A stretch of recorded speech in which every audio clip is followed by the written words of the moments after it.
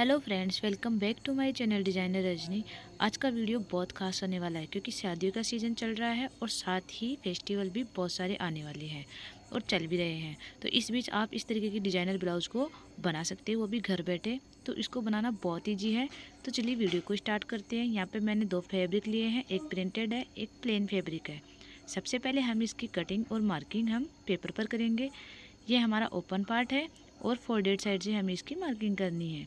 ऊपर की तरफ़ हमें एक स्ट्रेट लाइन ड्रॉ कर लेनी है।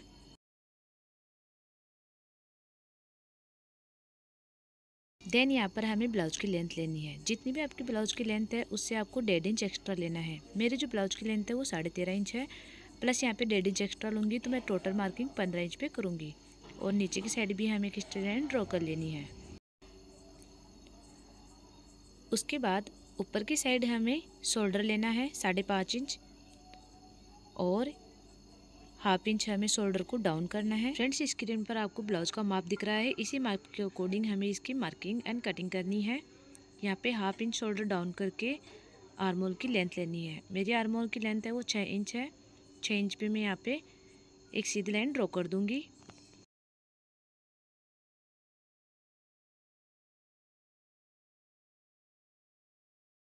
और आर्मोल लाइन को भी हमें इस तरह से सीधा मार्क कर लेना है। उसके बाद हमें चेस्ट का मेज़रमेंट लेना है। सेम वही प्रोसेस रहेगा जितनी आपकी चेस्ट है, उसका फोर्थ से हमें डिवाइड करना है। मेरी चेस्ट साइज़ छत्तीस इंच है, छत्तीस का फोर्थ पार्ट होगा नौ इंच प्लस वन इंच की इसमें ल्यूजिंग ऐड करूँगी। क्योंकि ये फुल डीप नेक है तो यहाँ पे ज़्यादा ल्यूजिंग हमें ऐड नहीं करनी है। इसी तरह से हमें कमर की मार्किंग करनी है। कमर का फोर्थ पार्ट लेना है, साढ़े seven inch plus one inch की मैं इसमें ल्यूजिंग ऐड करूँगी। और यहाँ पे तिरछी लाइन करके मिला दूँगी। अब बैक साइड में हमें आर्मोल की गोलाई देनी है। बैक साइड में आर्मोल की गोलाई में यहाँ पे वन इंच पे दूँगी। तो इस तरह से सेंटर से वन इंच मार्क करके और यहाँ पे आर्मोल की गोल शेप में गोलाई देनी है। उसके बाद नेक की विर्थ लेनी है। मैं यहाँ पे नेक की विर्थ तीन इंच रखूँगी। तो तीन इंच पे मार्क कर दूँगी। नीचे भी मैं तीन इंच मार्क कर दूँगी। यानी कि तीन इंच पर हमें एक सीधी लाइन ड्रॉ कर देनी है। पूरा नेक है फुल डीप है। तो यहाँ पे तीन तीन इंच पे मार्क करके एक सीधी लाइन ड्रॉ कर दूँगी।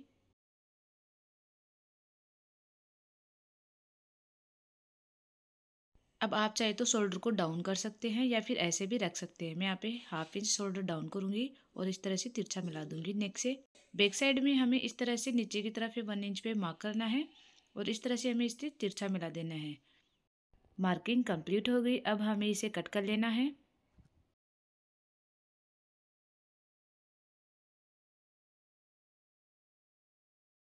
तो पेपर कटिंग कंप्लीट हो गई। अब इसे फैब्रिक पर कट कर लेना है।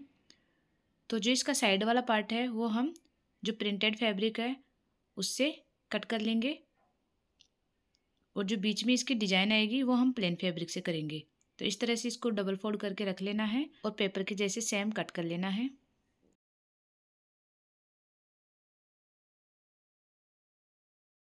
तो फैब्रिक की कटिंग भी कंप्लीट हो गई। अब बीच में हमें डिज़ाइन ड्रॉ करनी है, वो हम प्लेन फैब्रिक से करेंगे।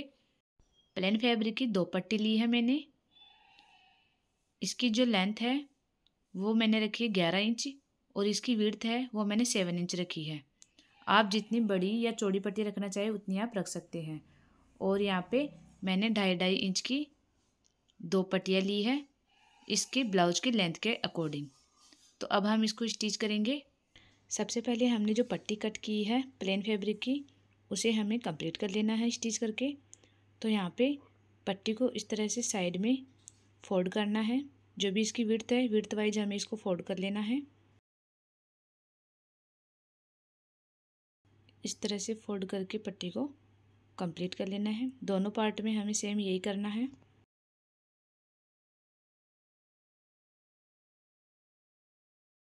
दोनों पट्टी को साइड से स्टिच कर लेना है। तो यहाँ पे मैंने दोनों पट्टी को रेडी कर लिया है। अब इस तरह से पट्टी को लेंथ के हिसाब से टू फोल्ड कर लेना है। और हाफ़ इंच गैप छोड़ते हुए स्टिच लगा लेना है।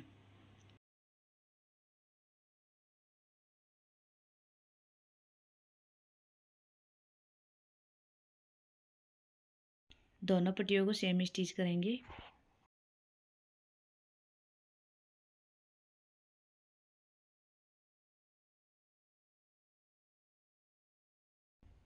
यहाँ पे एक्स्ट्रा फैब्रिक को हमें कट कर लेना है।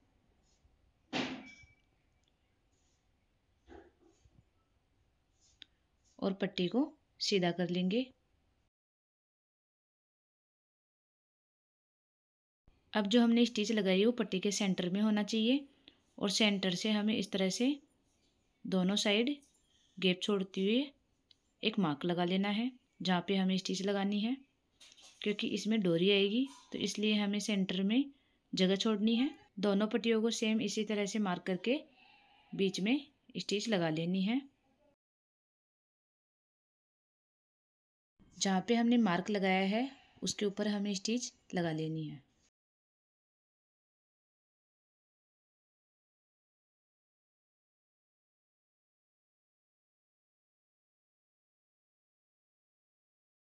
दोनों पट्टी हमारी रेडी हो गई है। अब इसके सेंटर में हमें डोरी ऐड करनी है।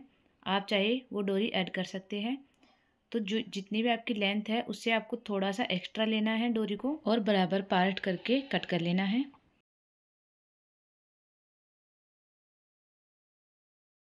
अब हमें पिन की मदद से डोरी को, जो हमने स्टिच लगाई है, पट्टी के ऊपर, उसके सेंटर से इस तरह से निकाल लेना है।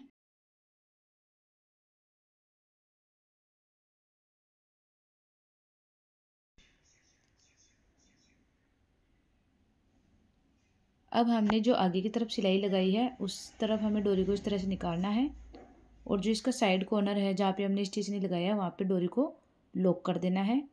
ताकि ये बाहर नहीं निकले।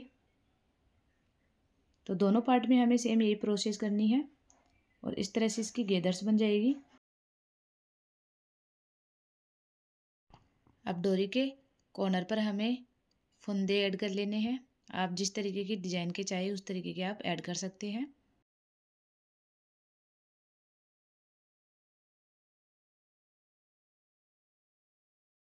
यहाँ पे हमारा डिज़ाइन वाला पार्ट है, वो रेडी हो गया है।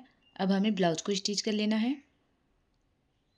तो इस तरह से हमें ब्लाउज की लेंथ यहाँ पे मार्क कर लेनी है। जितनी भी आपकी ब्लाउज की लेंथ है, वो हमें मार्क कर लेनी है। साढ़े तेरह इंच पे मार्क कर लूँगी। ऊपर हाफ़ इंच गेप छोड़ते हुए। और दोनों को बराबर मार्क कर लेना है, ताकि ऊपर नीचे ना हो। देन यहाँ पर जो हमने पट्टी रेडी की है, उसका जो फुंदे वाली साइड है, वो हमारी आर्मोल की तरफ़ रहेगी। और जो हमने नीचे की तरफ़ मार्क किया है, साढ़े तेरह इंच पे, इस तरह से वहाँ पे हमें पट्टी के कॉर्नर को अच्छे से सेट करते हुए पिनअप कर लेना है। दोनों तरफ़ हमें सेम यही प्रोसेस करनी है। पट्टी की उल्टी और सीधी साइड को आपको ध्यान रखना है, जो पट्टी की स्टिचिंग लाइन है, वो आपके ऊपर रहनी चाहिए।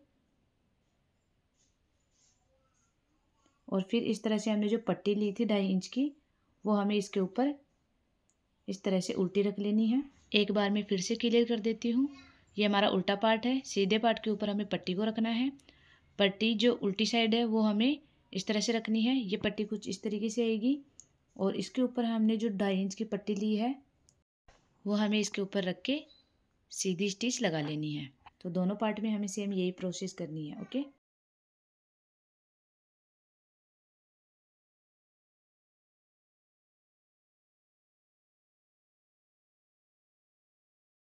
सीधी स्टिच हमारी कंप्लीट हो गई है। एक्स्ट्रा फैब्रिक को कट कर लेना है, फिर पट्टी को इस तरह से फोल्ड करना है और इसके ऊपर एक स्टिच और लगा लेनी है, ताकि फिनिशिंग अच्छी आए।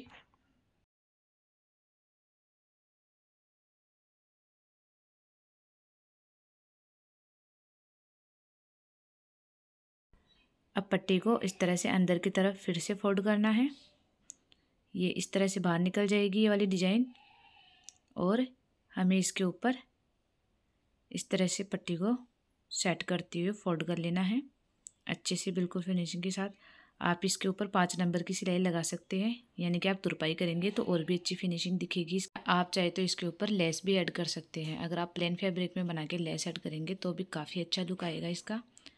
फ्रेंड्स वीडियो यूज़फुल लगे तो प्लीज़ वीडियो को लाइक करके चैनल को सब्सक्राइब करें। साथ में बेल आइकन को प्रेस करना बिल्कुल ना भूलें। क्योंकि ऐसी डिज़ाइनिंग वीडियो में लाती रहती हूँ हमेशा। इस तरह से हमें दोनों पार्ट को रेडी कर लेना है। अब जो भी हमारी लेंथ थी ब्लाउज की, साढ़े तेरह इंच, उसके हिसाब से हमें इस पट्टी को अंदर की तरफ़ फोल्ड कर लेना है। दोनों पार्ट की पट्टियों को हमें सेम इस तरह से फोल्ड करके इसके ऊपर स्टिच लगा लेनी है।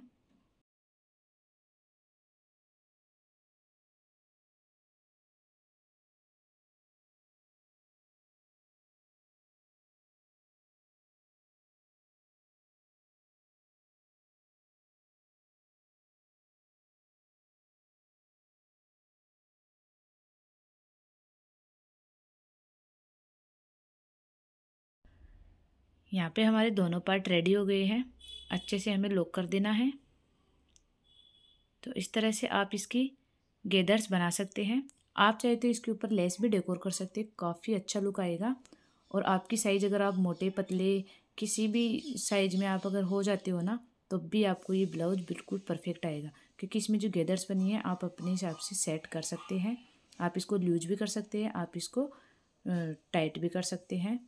तो काफ़ी यूजफुल वीडियो है और काफ़ी अच्छे डिज़ाइन है। देखो किस तरह से कितना प्यारा लुक आ रहा है इसका। अगर आपको ये डिज़ाइन पसंद आया तो प्लीज़ रेड हार्ट कमेंट करना बिल्कुल ना भूलिए। मिलते हैं नेक्स्ट वीडियो में। बाय